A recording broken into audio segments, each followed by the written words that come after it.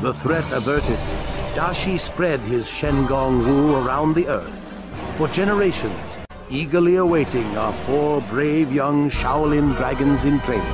Omi, Xiaolin Dragon of Water. Kimiko, Xiaolin Dragon of Fire. Raimundo, Xiaolin Dragon of Wind.